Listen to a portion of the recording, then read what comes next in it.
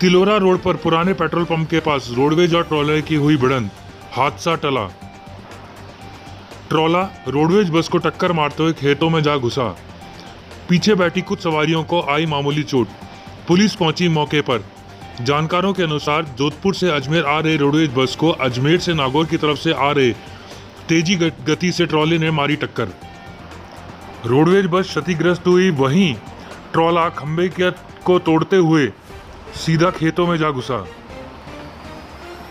बहुत देर तक रास्ता रहा जाम। पुलिस ने आके जुड़े रास्ता रहने के लिए हमारे YouTube चैनल को सब्सक्राइब करें और नई वीडियो की नोटिफिकेशन के लिए बेल आइकॉन को दबाएँ।